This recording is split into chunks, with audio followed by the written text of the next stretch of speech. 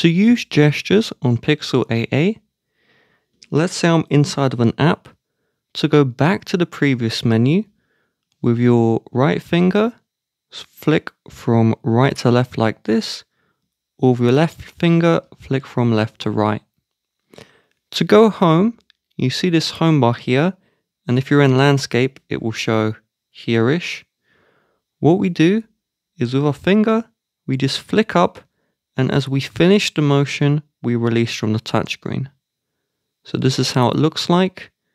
You can also flick up forwards or to the right.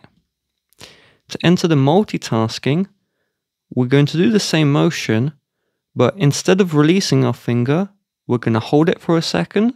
So it looks like this. Swipe up, hold, release. And then you'll be brought to the multitasking.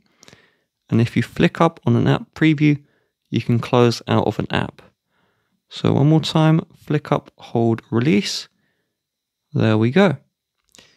Now, if I open up multiple apps to quickly switch between them, where this bar is, flick from the bottom left to right or bottom right to left. You can also do a small curve motion like this. Either works.